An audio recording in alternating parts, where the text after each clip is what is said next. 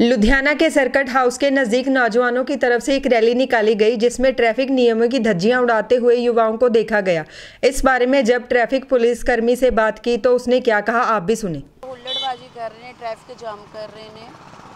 ਤੇ without helmet without seat belt roller ਰੱਪਾ ਪਾ ਰਹੇ ਨੇ ਉਹਨਾਂ ਦੇ ਖਿਲਾਫ ਟ੍ਰੈਫਿਕ ਪੁਲਿਸ ਕਾਰਵਾਈ ਕਰ ਰਹੀ ਹੈ ਇਹ ਹਲੇ ਆਪਣੇ ਗਲਤ ਹੁੱਲੜਬਾਜ਼ੀ ਕਰਦੇ ਆ, ਇਹਨਾਂ ਦੇ ਪਰਚਾ ਵੀ ਬਣ ਜਾਏਗਾ ਜਿਹੜਾ ਇਹਨਾਂ ਦੇ ਮੁਕੱਦਮਾ ਦਰਜ ਹੋਏਗਾ ਪਰਚਾ ਬਣ ਜਾਏਗਾ ਹੁੱਲੜਬਾਜ਼ੀ ਦਾ ਅਗਰ ਇਹ ਆਵਾਜਾਈ 'ਚ ਵਿਘਨ ਪਾਉਂਦੇ ਨੇ ਤੇ ਇਹਨਾਂ ਦੇ ਚਲਾਨ ਹੋਣਗੇ